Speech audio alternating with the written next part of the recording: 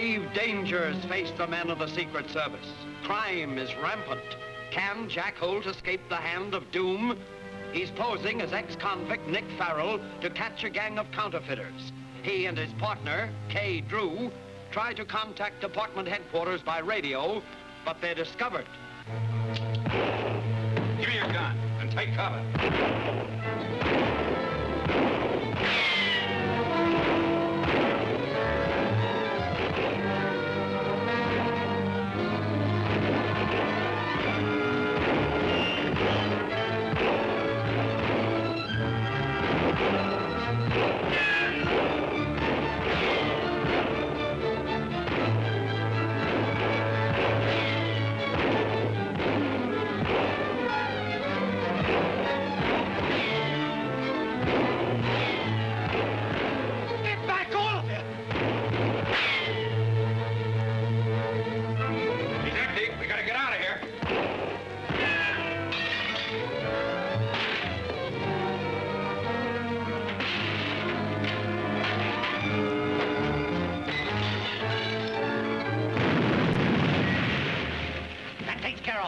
Tell the government nothing. Yeah, but the girl's on the loose. If she reaches the road, we're sunk. Right, that's where she'd head for.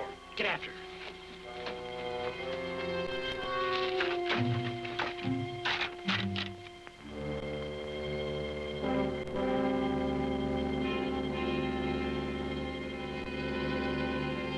They're after her. I've got to head her off. Get back in that cave. You're safe. They think you're dead.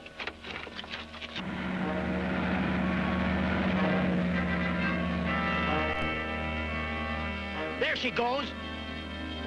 I'll stop her.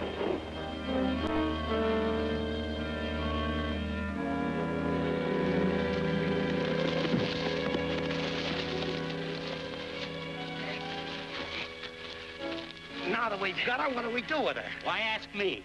Don't look at me. Somebody's got to make a decision. Oh, cut it out. Get it back to the cabin and use the radio. Good idea. Drop those guns, boys, if you want to live. Leave the girl alone. Get over there in a huddle.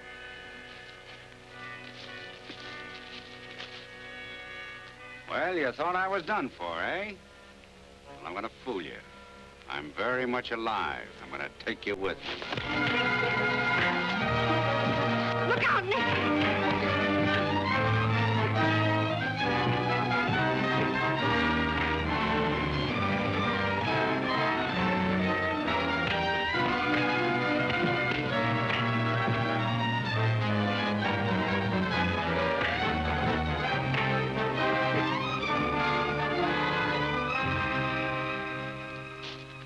Well, Jimmy just about made it. Why, you scared me to death. Cut for more, boys. Take no chances. Thanks, Jim. Is that the lot of them? No, they don't mean a thing. The important thing is to keep them incommunicado. Get them out of the state so I can contact Valdin. We haven't any case until we get the head man. We'll get you for this, Holt. Mark my word. Take him to the car. You double crosser. Jim, we'll go and get Severn. And while we're there, we'll wreck that counterfeiting plant and also their convenient radio. And John Malloy of the Secret Service states that the raid resulted when Charles Severn, held prisoner by the criminals, escaped them long enough to send a shortwave radio message that was picked up by a government station. That's a fine thing. It couldn't be helped. Nick Farrell, notorious racketeer, was the only one of the gang to make his escape. Farrell is believed to have the counterfeit plates in his possession. Uh, shut it off. Which one of your bungling gangsters let Severn escape? I don't know. I was on my way back there when it happened. All I know, the plant is destroyed. No sign of anyone. If there's any slip-up, I'm through. Don't worry. All the prisoners are on their way out of the state. With Crimp Evans dead and all the others that know you locked up, well, you can safely contact Valdin. And then what? Through Valdin, I'll reach the head man. That's the one we're after. It's no use fooling with a small fry. As soon as we get him, our case is closed. Say, wait a minute. Send for the boys. I've got an idea. Send in Layton and Frank. Why, that dirty double-crossing hijacker? So that's his game, huh? What's biting you now? Nick Farrell. He's the guy I was telling you about. Helped me break jail, then try to drown me in the river. Now he's on the loose with the boss's money plates. Read it. Well, I thought you said he was a fed, him and that girl that was with him. Yeah, I thought so, but I'm not so sure now. He got the place, that's a cinch. If he were a government man, he would have turned them in. He's going to use them himself, that's what. And he's going to count me in. I'm going to tell him so. How are you going to tell him? The police can't find him and the feds can't find him. I'll find him all right. Want me to go with you? No, stay where you are.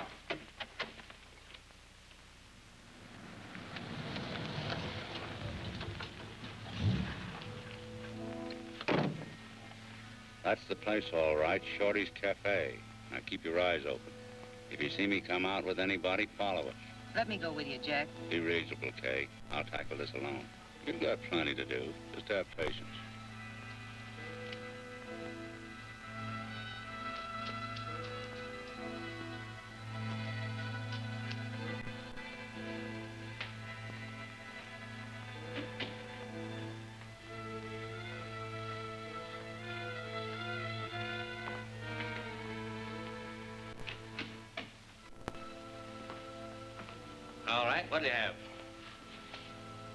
Shorty. Farrell, what are you doing here? Oh, I can't have this. You're too hot. Pipe down, pipe down. I just want to stay here until it's dark. Crimp Evans always said you were the right guy. Now prove it. Where is Crimp? Well, the poor devil was drowned when he tried to make our getaway. Oh. All right, but don't come out front. I can't afford it. Okay, I'll stay here.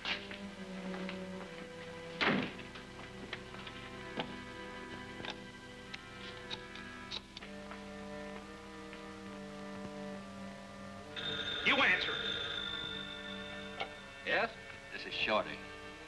Yeah, believe it or not, Nick Farrell's in my back room. Peaceful as a kitten. Check.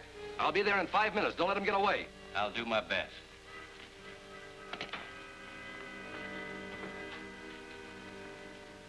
Better take somebody with you. All right, I'll pick up a couple of the boys. And remember, I want to get a look at him without him seeing me. I understand. Here you are, Nick. This is on me. A slug of this will give you new courage. Thanks, Shorty. I sure need it.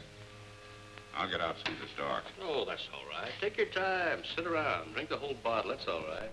Thanks.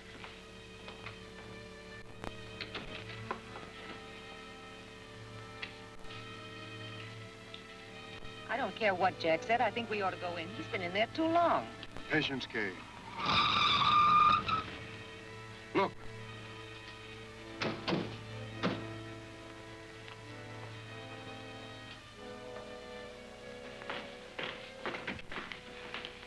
Work, Shorty. Where is he? Sitting peacefully in my back room, like I said. Remember, boys, I'll do all the talking. Right.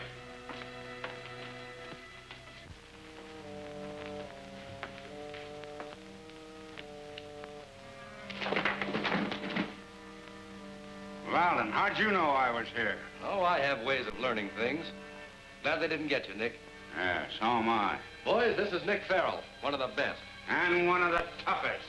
So don't start anything. All right, now just take it easy, Nick. Tell me what happened out there at the hideout. Well, Severn slipped one over on us. Tony and Spike were supposed to be watching. Without any warning, the government men were on us. While they were battling, I smashed the plant. And believe me, they haven't got anything on those boys. As soon as we get our hand on some corn, we can spring them. Uh, a little shot, huh? No, no, no, wait a minute, Nick. You've had enough. That's all I know about it. When I saw we couldn't hold that fizz off, I scrammed out of there. And took the plates with you. That was mighty smart. I'll say it was. Nick's a mighty smart fella. Crimp! Hello, Valdin. We thought you were dead. Boy, Crimpy, old boy, I thought you were drowned. I never expected I to don't see blame you. you. I swallowed enough water to sink a battleship. An old prospector fished me out of the river and doctored me up. Just got in town today. You sure was lucky, weren't you, Cliffy? Yeah, you and me both. Say, I was reading about you in the papers. What about them plates? Oh, you mustn't, you mustn't believe what you read in the paper, Crimpy. But uh, if I did have the place, they'd certainly be worth a lot of money. How about it, Valdin? Oh, so that's it. Well, name your price, Farrell. Oh, no, no, no. I only talk with the boss, and Valdin, that ain't you. I see. You got us behind the eight ball, Nick. Meet me tonight at Selby's Roadhouse at 10 o'clock, and I'll take you to the big boss. Well, you better put it down, because I'll, I'll never remember that. Well, I'm on my way, men. Nick, you and I got to talk about that canoe trip. Sure, Crimpy. I'd love to see you anytime, as soon as the heat's off. Hi, have, have you had it? Oh, yeah. Selby's Roadhouse, since Cincho. I don't admit to having anything. But I might be able to... Oh, uh, can it? I understand. Just be there at 10 o'clock sharp. I'll be there at 10 sharp.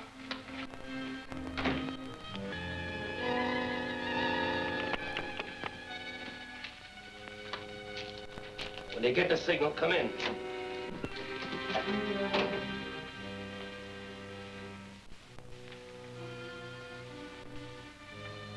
Nick, you and me are gonna have a showdown. Why, Crimpy, wh- wh- what do you want? Now, that's talking. I can explain what... Never mind what you did to me. I want those plates. Oh, you do, eh? So you fell for it, too. You thought I was drunk. You thought you'd come in and get me. Well, you'll never get the plate.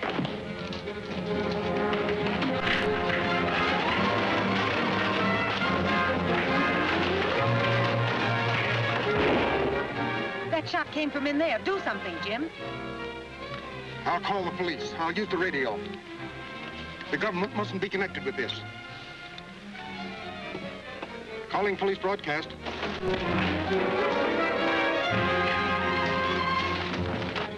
The police are on their way. I'll get over there just in case.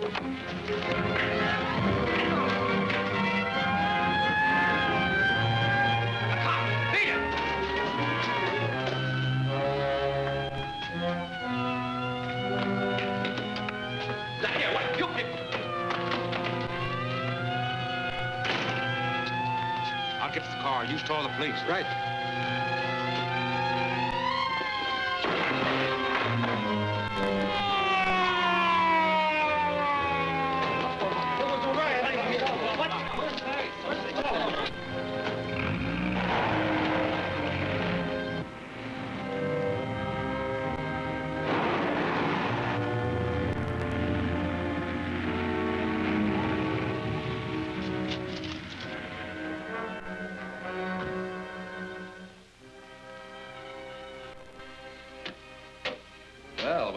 Today, I never thought you'd make it. I told you I'd be here tonight.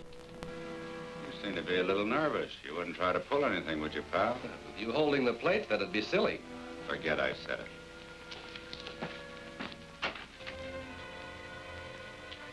Hello, Tick. Got a quiet room where we can talk? Yes, sir, Mr. Valdin.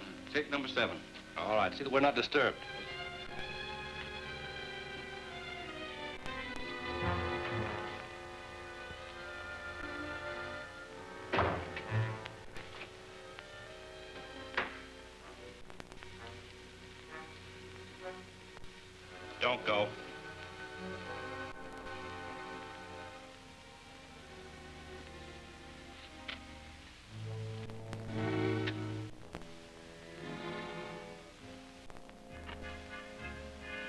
Place you've got here. Funny I haven't run onto it before. And nobody gets in here unless we know him. Can I order you a drink? Not now, but later. I never drink when I'm working. Come on, quit the stalling. Where is the big shot? Well, he'll be here. He's a busy man. Yeah? Well, so am I a busy man. And don't forget this. He needs me more than I need him. All right, all right, Nick. Have a little patience.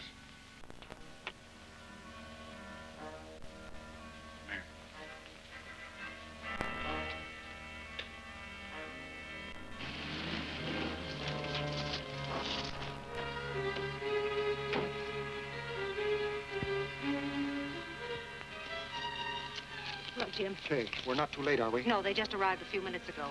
Think we ought to crash in? Oh, no, to jump the gun would ruin things. Jack will signal as soon as he contacts the head man. Come on, Valdin. I've waited long enough. Either you produce the boss or I'm getting out of here. Come in. The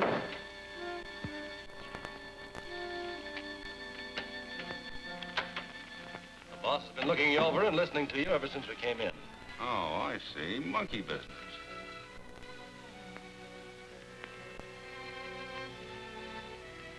So I've been on exhibition all the time, eh? Well, where do we go from here? Follow me.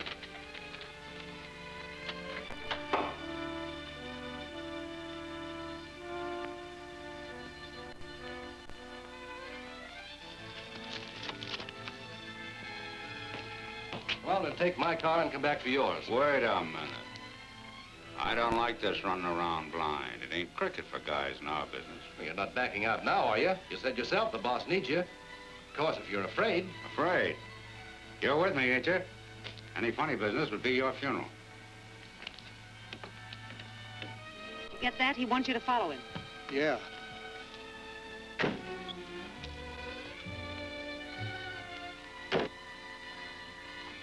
Eyes front, you two, or I'll drill you.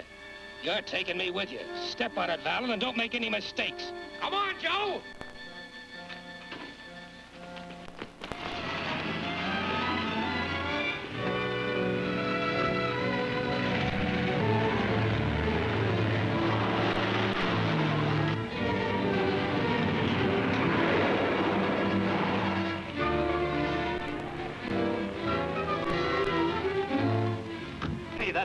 That's Farrell's as sure as fate. We better get after her.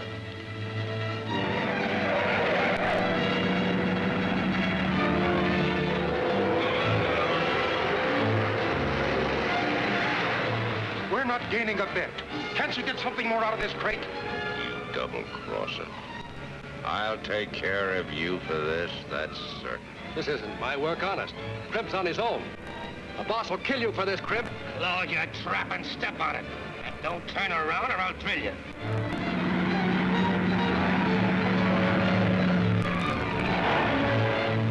Make him step on it, Crimp. That car's gaining on it. Tramp on it, Valdin. I can't go any faster on this road. We'll be killed.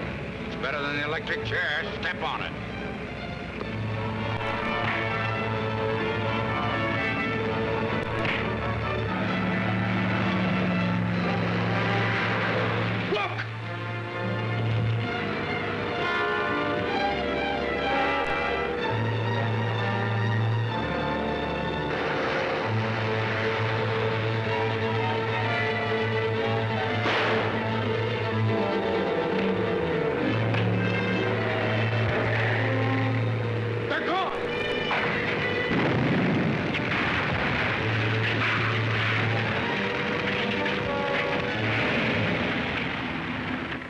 Plates are worth a fortune. Will Crimp and his men be able to get them? And what is this that Jim Layton has discovered? Will his captive lead him to the chief of the gang?